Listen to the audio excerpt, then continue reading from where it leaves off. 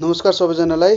Nepal online स्कुलको लोकसेवा तयारी कक्षा हेर्न तपाईँहरूलाई स्वागत छ र हामीले चाहिँ भर्बल रिजनिङ सम्बन्धी प्रब्लम्सहरू हेरिरहेका थियौँ र त्यसमा हामी एनालोजी सम्बन्धी प्रब्लम्सहरू सल्भ गरिरहेका थियौँ र अझै पनि हामीसँग एनालोजीको केही प्रब्लम्सहरू इम्पोर्टेन्ट प्रब्लम्सहरू चाहिँ छ है यहाँनिर।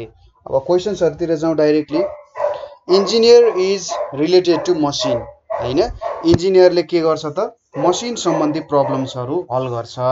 होइन मसिन रिलेटेड प्रब्लम्सहरू हल गर्छ भने डक्टरले के गर्छ भनेर सोधिरहेछ? इन्जिनियरले के गर्छ? मसिन सम्बन्धी रिलेटेड प्रब्लम्सहरू चाहिँ हल गर्ने काम गर्छ है? भनेपछि डक्टरले के सम्बन्धी काम गर्छ भन्दा डिजिजहरू चाहिँ हटाउने काम गर्छ। डक्टरले काम गर्ने ठाउँ हस्पिटल डक्टरले के माथि काम गर्छ? बडीमाथि के दिएर काम गर्छ? मेडिसिन होइन? तर डक्टरले के को ट्रिटमेन्ट गर्छ भन्दा डिजिजको ट्रिटमेन्ट गर्छ। इन्जिनियरले मेसिनलाई ट्रिटमेन्ट गर्छ भने डक्टरले चाहिँ बडीलाई ट्रिट गर्छ डिजिजबाट। इन्जिनियरले मेसिनको प्रब्लमहरू हटाउँछ डक्टरले बडीको प्रब्लमहरू हटाउँछ डिजिजहरू हटाउँछ भन्न खोजे अब यहाँ है। अर्को छ rhythm is related to music ठिक छ?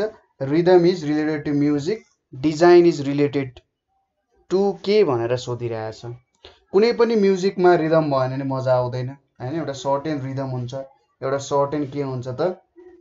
फ्लो हुन्छ। म्युजिक चाहिँ के अनुसार त? रिदम अनुसार क्रिएट गरिन्छ। कुनै पनि जुन पनि तपाईँले म्युजिक देख्नुहोस् त्यसमा सर्ट एन्ड के हुन्छ त? एउटा रिदम हुन्छ।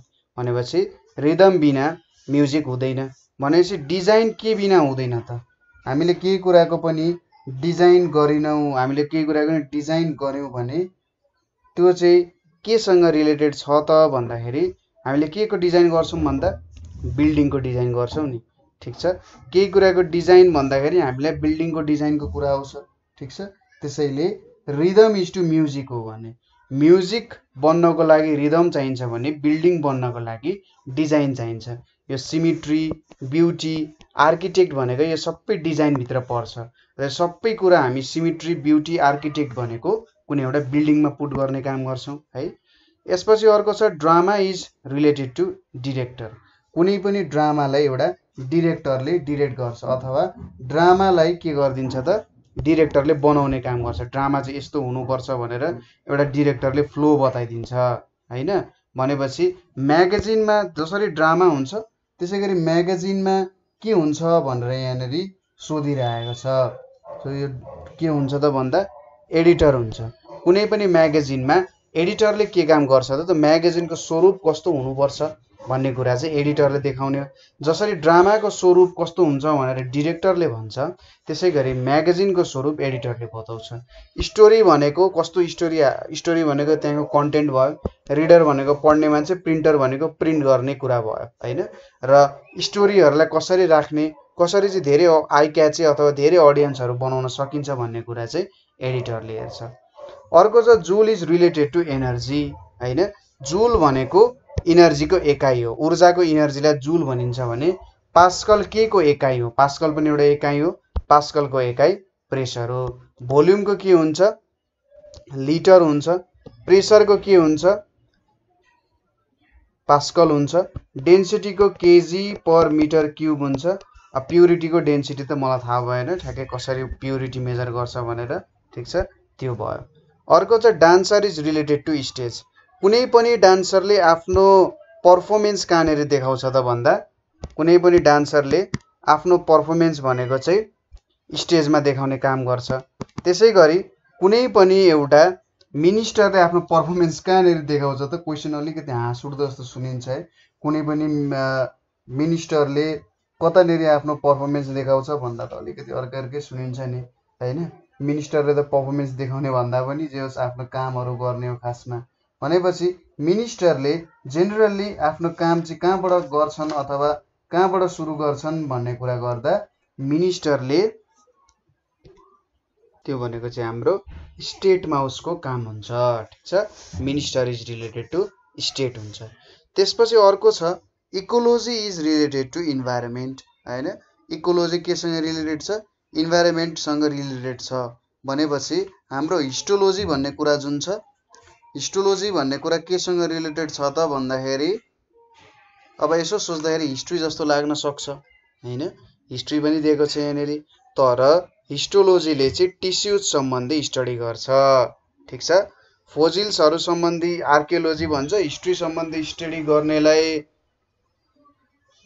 फोजिल आर्कियोलोजी हिस्ट्रीमा पनि त्यही पर्छ। होइन? टिस्युजहरू सम्बन्धी स्टडी गर्नेलाई चाहिँ हिस्टोलोजी भनेर भनिन्छ है ठिक छ? हिस्टोलोजी भनेर भनिन्छ। त्यसपछि अर्को छ wax is related to grease in the same way as milk is related to wax ग्रिजसँग related हुँदो रहेछ। भनेपछि व्याक्स ग्रिजसँग रिलेटेड छ भन्नुको मतलब के भन्न खोजे हो त? व्याक्स चाहिँ ग्रिजबाट बन्छ। ठिक छ? कुरा बुझियो होला के भन्न खोजेको? हाम्रो सरी ग्रिज चाहिँ व्याक्सबाट बन्छ सरी ग्रिज चाहिँ हाम्रो केबाट बन्छ त? व्याक्सबाट बन्छ। भनेपछि मिल्कबाट के के बन्न सक्छ त भन्ने कुरा सोधिरहेको छ यहाँनिर ठिक छ? मिल्कबाट अब हाम्रो जेनरली कर्ड निक्लिने गर्छ। किन कर्ड निक्लियो भन्दा व्याक्सको एउटा बाई प्रोडक्ट चाहिँ के हो त? ग्रिज हो होइन? व्याक्सको एउटा ब्राइ बाई प्रोडक्ट चाहिँ ग्रिज हो। त्यसै गरी अब कर्ड र घि नै मिल्कबाट निक्लिन्छ तर मिल्कको एउटा बाई प्रोडक्ट भन्नुपर्दा हामीले कर्ड भन्नुपर्ने हुन्छ। कुरा ठिक छ? यसपछि अर्को छ हर्स इज रिलेटेड टु हे। ठिक छ? हर्स इज रिलेटेड टु हे भनेको हर्सले हे भनेको पराल खान्छ अरे। ठिक छ? हर्सले के भन्छ त? पराल खान्छ। भनेपछि गाईले के खान्छ त भन्दा गाईको फोडर हुन्छ खोले हुन्छ भनेर भन्छ नि हो खोले हुन्छ। स्ट्र पनि खान त खान्छ तर स्पेसिफिक कुरा गर्ने भने गाईको फोडर हुन्छ। त्यसपछि अर्को छ flower is related to essence. ठिक छ? Flower is related to essence. भन्न के खोजेको त यसले? एसेन्स भनेको मिनिङ बुझ्नुपर्ने हुन्छ हामीले सुरुमा। इएसएस इएनसी एसेन्स भनेको त्यसको सार तत्त्व। होइन? Flower is related to essence भनेपछि त्यो फ्लावरको एसेन्स भनेको त्यहाँभित्रको जुन एउटा गन्ध हुन्छ त्यसमा हुन्छ नि त ठिक छ? त्यहाँ भएको गन्धहरू एउटा सार तत्त्वको कुराहरू गर्छ अथवा यसलाई चाहिँ पर्फ्युम भनेर पनि भन्छ है? एसेन्स भनेको चाहिँ पर्फ्युम हो। फ्लावरमा एउटा पर्फ्युम हुन्छ र त्यो फ्लावरसँग एकदमै धेरै रिलेटेड छ होइन? फ्लावरमा के हुन्छ त? पर्फ्युम हुन्छ। भने चाहिँ ओभनमा त्यस्तो के हुन्छ भनेर सोधिरहेछ। ओभनले के दिन्छ? यसको सार तत्त्व भनेको चाहिँ उसले दिने हिटमा हुन्छ। ठिक छ? उसको सार तत्त्व उसको हिटमा हुन्छ। फ्लावरले गन्ध दिन्छ भने ओभनले पनि के दिन्छ त? हिट दिन्छ। ठिक छ कुरा? अर्को छ हाम्रो impossible is related to feasible कुनै कुरा गर्नै सकिँदैन भन्नु इम्पोसिबल फिजिबल भनेको कुनै कुरा गर्न सजिलो छ सकिन्छ भन्ने कुरा जस्तो भयो है? सो इम्पोसिबल र फिजिबल भनेको एकअर्काको विपरीतार्थी शब्दहरू भए। अब त्यसै गरी थ्योरिटिकल छ। थ्योरिटिकलको विपरीतार्थी के हुन्छ त? प्र्याक्टिकल हुन्छ। ठिक छ? थ्योरिटिकल भनेको दिमागमा मात्रै गर्न सकिने प्र्याक्टिकल्ली भनेको हामीले बाहिर यसरी गर्न सक्ने होइन? बाहिर कुनै काम हामीले गर्न सकिन्छ भने त्यो प्र्याक्टिकल भयो। ठिक छ? अर्को छ soap is related to wash ठिक छ? Soap is related to wash भनिरहेछ भने सोपको काम के हो त? धुने काम हो। ठिक छ? सोपको काम धुने काम हो भने कुनै पनि ब्रुमको काम अथवा झाडुको काम के हुन जान्छ त? बढार्ने काम हुन्छ। ठिक छ? बढार्ने काम हुन्छ। क्लिन डस्ट फ्लोर भनेको सबैले यसमाथि काम गर्छ तर उसको मेन काम भनेको बढार्ने काम हो। ठिक छ? Wood is related to charcoal भनिरहेछ। Wood related charcoal भनेको चारकोल चाहिँ काठबाट बन्छ भन्न खोजे। हो ठिक छ? काठ चाहिँ केबाट बन्छ त? सरी चारकोल केबाट बन्छ त भन्दा चारकोलबाट बन्छ उड चारकोल चाहिँ उडबाट बन्छ सरी चारकोल उडबाट बन्छ। त्यसै गरी कोल केबाट बन्छ त? ठिक छ? कोल केबाट बन्छ भनेर यहाँनिर क्वेसन छ हाम्रो। सो यसको एन्सर भनेको चाहिँ हाम्रो के हुन्छ भने सिओकेई कोकबाट चाहिँ कोल भन्छ। तपाईँले क्लास टेनको साइन्समा नि पढ्नु भएको छ होला। एउटा च्याप्टर छ कार्बन एन्ड इट्स कम्पाउन्ड्स भन्ने हो त्यो। एस भनेको त काठ जल्यो भने भन्छ यो एस भनेको। स्मोक भनेको कुनै कुरा जलाइयो भने स्मोक आउँछ फायर पनि हुँदैन। हाम्रो वान एन्ड ओन्ली एन्सर भनेको चाहिँ कोक हुन जान्छ। ठिक छ? यसपछि छ अर्को ल्यान्ड इज टु केप भनिरहेछ अब यहाँनिर सुरुमा हामीले केपको अर्थ बुझ्नुपर्ने हुन्छ। सिएपेई केप भनेको चाहिँ भूशिर भू शिर भनेर भन्छ यसलाई। ठिक छ? यो भनेको कुनै पनि एउटा ल्यान्ड अथवा जमिनको भूमि जुन चाहिँ पानीतिर बगिरहेको छ भन्नु चाहिँ के हुन्छ त? केप भन्ने अर्थ आउँछ। ठिक छ? ल्यान्डको के हुँदो रहेछ त? केप हुँदो रहेछ।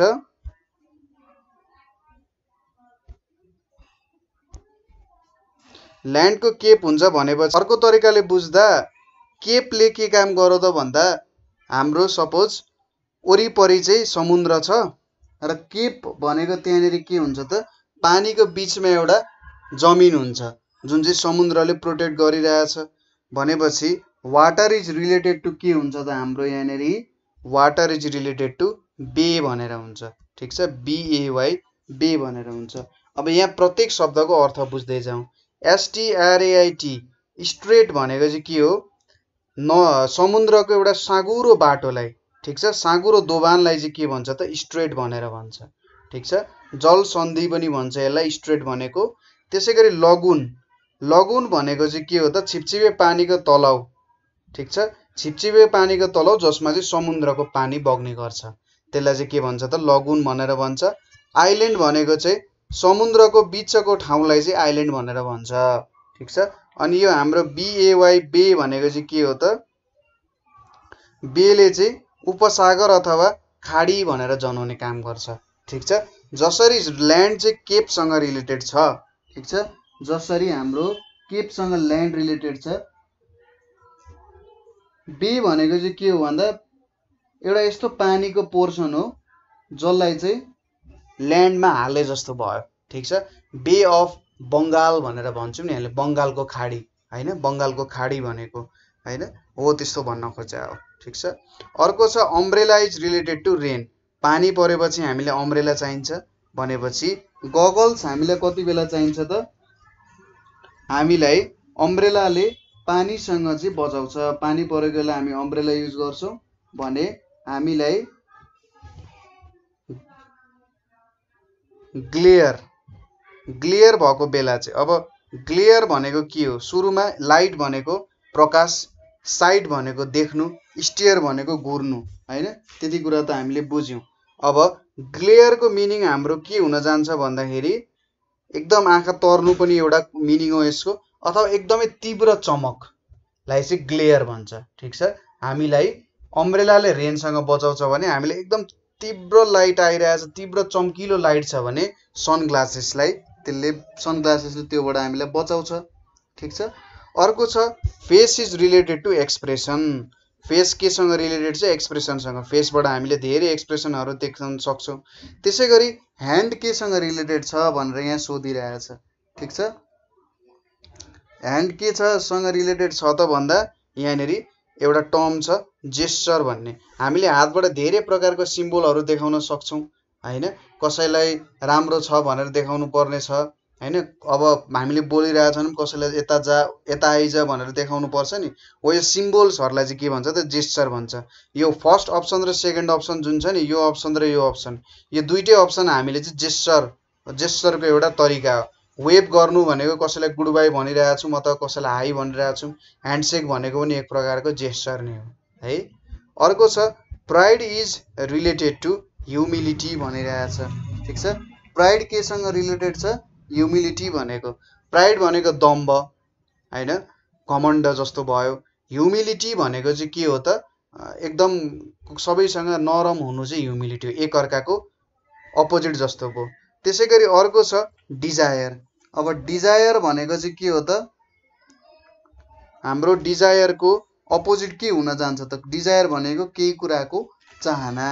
भनेपछि केही कुराको चाहनाको अपोजिट के हुन्छ?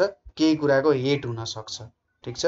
केही कुराको हेट चाहिँ चाहना हुनसक्छ सरी चाहनाको उल्टो हुन्छ। सप्रेस भनेको दबाउनु विस भनेको केहीको इच्छा राख्नु इन्डिफरेन्स भनेको केही कुरासँग मतलबै नराख्नु। ठिक छ? डिजायरको अपोजिट के भयो? हेट भयो। अर्को हामीसँग शब्द अथवा रिलेसन के छ? Labourer is related to wages कामदारहरूलाई हामी के दिन्छौँ? वेजेस भनेको तलब अथवा पैसा दिने गर्छौँ केही एमाउन्टमा त्यसै गरी आन्टरप्रोन्योर केसँग रिलेटेड छ त? आन्टरप्रोन्योर भनेको चाहिँ हाम्रो एउटा बिजनेसको नयाँ सोच ल्याउने अथवा केही गर्छु भनेर सोच्ने मान्छे हो होइन? उसले अब सोचिरहेको हुन्छ। भनेपछि लेबरर वेजेससँग रिलेटेड छ भने एन्टरप्रेन्योर भनेको चाहिँ उसलाई प्रफिट चाहिरहेको हुन्छ। कुनै पनि काममा उसले प्रफिट खोजिरहेको हुन्छ होइन? कसरी चाहिँ मैले धेरैभन्दा धेरै पैसा कमाउन सक्छु भनेर भन्न सकिन्छ है। त्यसै गरी यहाँनिर अर्को टर्म छ किन्डल भनेर छ। अब किन्डल भनेको चाहिँ जेनरली कस्तो अर्थ दिन्छ भन्दा यसले जलाउनुलाई किन्डल भनेर भन्छ ठिक छ? जलाउनुलाई किन्डल भन्छ भनेपछि किन्डल र बर्न भनेको एकअर्काको सिनोनिम रहेछ ठिक छ? अथवा बन भन्ने बन भनेको चाहिँ किन्डलको अझै ठुलो रूप भन्छ ठिक छ? किन्डलको किन्डल भनेको सानो धिपधिपे आगो भयो भने बन भनेको चाहिँ एकदम हुर हुरी बल्छ नि। हो त्यसलाई चाहिँ बन भनेर भन्न सकिन्छ। अब त्यसै गरी एङ्ग्री छ यहाँनिर। एङ्ग्रीको एकदम ठुलो रूपलाई चाहिँ के भन्छ त? कोही कोही तपाईँसँग कोहीसँग रिसाउनु भएको छ भने ठिक छ? कोहीसँग रिसाउनु भएको छ भने त्यसको अझै उग्र चण्डी रूप भनेको चाहिँ के हुन्छ? फ्युरियस भन्छ यसलाई। ठिक छ? फ्युरियस भनेको चाहिँ अझै धेरै प्रचण्ड रिसाउनु भन्छ। डिटरमाइन्ड भनेको तपाईँले चाहिँ ठान्नु भयो कि म यो काम गर्छु। एनोइड भनेको चाहिँ कोहीसँग झिजो मानिराख्नु भएको छ त्यो एनोइड भयो। रिजेन्टफुल भनेको कसैलाई तपाईँले मनै पराउनु हुँदैन भने त्यसलाई रिजेन्टफुल भनेर भन्छ। ठिक छ? अर्को छ boat is related to sails. Sails भनेको चाहिँ के हो त भन्दा जुन बोटमा हामी टाङ्छौँ नि एउटा जसले चाहिँ हाम्रो बोटलाई अगाडि बढाउने काम गर्छ होइन? सेल्सको कारण चाहिँ हाम्रो बोट चाहिँ अगाडि बढ्ने काम गर्छ। त्यसै गरी बलुन बलुन के कारणले चाहिँ माथि उड्न सक्छ होला त? ठिक छ? बोट त सेल्सको कारणले अगाडि बढ्छ भने बलुन भनेको चाहिँ हाम्रो बलुन उडाउने कारण भनेको हाम्रो हट एयर। हट एयरले बेलुन उडाउँछ। ठिक छ? नाइलोन रबर रोप भनेको बेलुनमा राखिने वस्तुहरू भयो। तर बेलुनलाई उडाउने भनेको चाहिँ जसरी सेल्सलाई बोट जसरी सेल्सले बोटलाई अगाडि लान्छ त्यसै गरी बलुनलाई माथि लाने भनेको हट एयर हो। Lotus is related to cuticle भनिरहेछ ठिक छ? Lotus is related to cuticle. यो क्युटिकल भन्ने वस्तुले चाहिँ के गर्छ भने लोटसलाई प्रोटेक्ट गर्ने काम गर्छ। क्युटिकल भनेको लोटसको माथि माथि जुन एउटा पत्र लागेको हुन्छ नि प्लास्टिक जस्तो हो त्यो प्लास्टिकको पत्र जसले चाहिँ यसमा पानीहरू बस्न दिँदैन हो त्यो क्युटिकल भयो। अब फिसलाई केले प्रोटेक्ट गर्छ भन्दा जस्तै यहाँनिर गिल्स छ यो गिल्सले फिसलाई सास लिन काम दिन्छ। यो फिन्स र टेल्सले चाहिँ अगाडि हिँड्न काम दिन्छ। यो स्केल्स कत्ला भन्छ यसलाई नेपालीमा। कत्लाले चाहिँ फिसलाई प्रोटेक्ट गर्ने काम गर्छ। ठिक छ? कत्लाले के गर्छ त? एउटा फिसलाई प्रोटेक्सन दिने काम गर्छ। त्यसै गरी अर्को छ jade is related to green. ठिक छ? Jade is related to green भनेको जेड भनेको एउटा एकदम प्रेसियस स्टोन हो। ठिक छ? जेड भनेको एउटा एकदम प्रेसियस स्टोन हो। र त्यो चाहिँ ग्रिन रङको हुन्छ है? जेड भनेको एकदम प्रिसियस स्टोन हो र यो चाहिँ ग्रिन रङको हुन्छ र गार्नेट पनि एक प्रकारको प्रिसियस स्टोन हो। गार्नेट पनि एक प्रकारको प्रिसियस स्टोन हो जुन चाहिँ रेड कलरको हुन्छ ठिक छ? बुझियो कुरा? यसपछि अर्को छ atom is related to molecule. Molecule चाहिँ केबाट बन्छ त एटमबाट बन्छ ठिक छ? मोलिक्युल केबाट बन्छ त एटमहरूको मिलावटबाट चाहिँ मोलिक्युल बन्ने काम गर्छ। त्यसै गरी सेल केले बन्छ भनेर सरी सेलबाट के के बन्छ भनेर सोधिरहेछ एटमबाट मोलिक्युल बन्छ भने सेलबाट अभियसली अर्गानिजम्सहरू नै बन्ला होइन? अब अर्गानिजम्स पनि बन्छ जेनरली अब सेल ब्याट्रीको कुरा गरेर त होइन होला पक्कै पनि यहाँ होइन? सेलबाट चाहिँ के बन्छ त हाम्रो अर्गानिजम्सहरू बन्ने काम गर्छ। Water is related to ocean ठिक छ? Water is related to ocean भनेको पानी चाहिँ कहाँ हुन्छ त? ओसनमा हुन्छ अथवा पानीले के गर्छ त? ओसनलाई बनाउने काम गर्छ। ठिक छ? अथवा अर्को तरिकाले भन्दाखेरि ओसन भनेको चाहिँ मुभमेन्ट अफ वाटर पानी मुभ गरिराख्नु चाहिँ के हो त? ओसन सागर महासागरमा त पानी मुभ भइरहेको हुन्छ। त्यसै गरी स्नो भन्ने कुरा चाहिँ हाम्रो केसँग रिलेटेड छ त भन्दाखेरि स्नो भनेको चाहिँ हाम्रो ग्लेसियर ग्लेसियर पनि एउटा मुभिङ स्नो भन्न सकिन्छ यसलाई होइन? ओसनमा पानी मुभ गरिरहेको हुन्छ ठिक छ? अब त्यसरी हामीले भन्न सकिन्छ। माउन्टेनमा मात्रै स्नो त पाइँदैन होइन? माउन्टेनमा मात्रै पाइँदैन। हेल ड्रप्स भनेको चाहिँ असिना पिक्स भनेको चाहिँ चुचुरोहरू। माउन्टेनको चुचुरोहरू मात्रै स्नो पाइने हुँदैन माउन्टेनमा मात्रै पाइने हुँदैन। त्यसैले यहाँनिर एउटा मुभमेन्ट जनाउन खोजिरहेछ है? ठिक छ? अर्को छ Taj Mahal is related to love. शाहजहानले आफ्नो मुमताजको लागि के गरे त आफ्नो लभको लागि ताजमहल क्रिएट गरे। त्यसै गरी जलिन जलै जलियनवाला बाग ठिक छ? जलियनवाला बाग भनेको चाहिँ हाम्रो केसँग रिलेटेड छ त भन्दा मार्टियर डोमसँग रिलेटेड छ ठिक छ? जलियनवाला बाग भनेको हाम्रो मार्टियर डोमसँग रिलेटेड छ। Cobra is related to snake cobra भनेको एक प्रकारको स्नेक हो ठिक छ? स्नेकको एक प्रकार प्रकारमा पर्ने गर्छ। त्यसै गरी ल्युपार्ड अथवा लेउपार्ड भनेको चितुवा। चितुवा भनेको एक प्रकारको के हो त? बिरालो। ठिक छ? चितुवा भनेको एक प्रकारको बिरालो। लायन टाइगर सबै एक प्रकारको के हो? बिरालो नै हो। यिनीहरूलाई चाहिँ वाइल्ड क्याट्स जङ्गली बिल्ली भनेर भन्छ होइन? जङ्गली बिरालोहरू हो यिनीहरू। हाम्रो घरपालुवा बिरालो र यिनीहरूको बाजेहरू सबै सेम हो। लायनको बाजे र हाम्रो घरको बिरालो जुन म्याउ म्याउ आउँछ नि हो त्यो एउटै हो। होइन? जस्ट यिनीहरू के छ त एउटा घरपालुवा भयो अर्को वाइल्ड एनिमल भयो। ठिक छ? अर्को छ हाम्रो noise is related to din भनेर भनिरहेछ। ठिक छ? Noise is related to din भनेर भनिरहेछ। अब डिन भनेको के हो त? एकदमै चर्को ध्वनिलाई चाहिँ डिन भनेर भन्छ। ठिक छ? के हो त? एकदमै चर्को ध्वनिलाई चाहिँ के भन्छ त? डिन भनेर भन्छ। सो नोइज भनेको थोरै छ भने डिन भनेको एकदमै चर्को हो।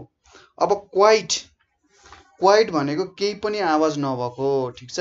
क्वाइट भनेको चाहिँ केही पनि आवाज नभएकोलाई क्वाइट भनेर भन्छ। अब योसँग रिलेटेड के हुन्छ त? हस। हस भनेको चाहिँ अलिकति केही पनि आवाजै नभएको। त्यहाँनिर सोच्नुहोस् कि अँध्यारोको पनि निष्पट्ट अँध्यारो भनेर भन्छ नि।